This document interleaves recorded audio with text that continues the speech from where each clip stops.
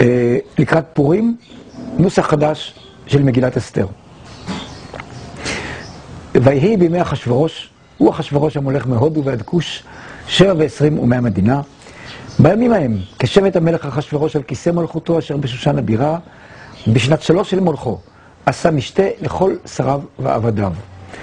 וכטוב ליבם ביין, והצחוק עד לב שמיים, המזון כל לב פותח בטוב טעם וטוב ריח, ושרי המדינות אז העירו למארח. כה נפלא אתה טורח, כה נפלא מה שקורה, אך די אכלנו, די שתינו, די שפחות יפות ראינו, וטעמנו וניסינו, ועשינו מה רצינו, והכרנו את הפרסים, גם המליינים, גם הערסים. פה ושם לקחנו שחטה, אך דבר אחד שכחת, להראות את האישה היפה אשר הבטחת.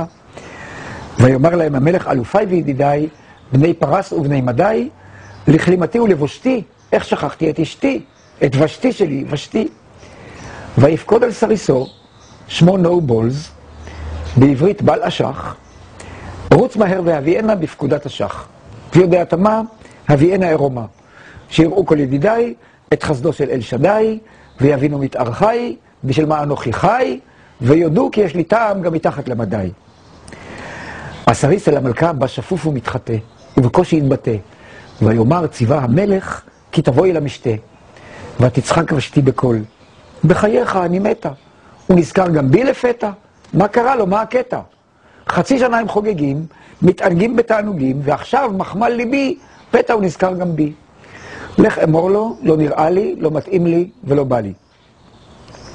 הסריס את חמתה וקצפה, לאט הרגיעה, עד אשר היא נעתרה ואמרה, נו טוב, אגיע.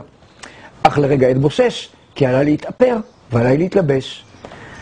ויאמר לה הסריס, וליבו כבר השתפן לו, וכולו רעוד רעד, ושקשקו לו מה שאין לו.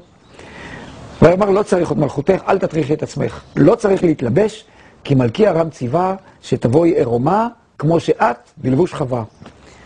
ותצעק ושתי בזעם, הוא ירד מהפסים, עירומה אני אופיע לפני כל האפסים, עירומה אני אופיע שיאכלו ערכי הכתר, להציץ לי על הגוף ממרחק סנטימטר, ותהיה להם שמחה בין הפופיק לקתטר? לך אמור לו לא מתחשק לי, ואם על המלך טוב שינשק לי. ויבוא אז הסריס אל המלך במסיבו, ויאמר בחיל ורעד, מסרבת היא לבוא. מסרבת, הכוכבת, לפקודה של בעלה, זהו זה, הסוף שלה. היא תעוף כמו פורפרה, המטומטמת החולרה.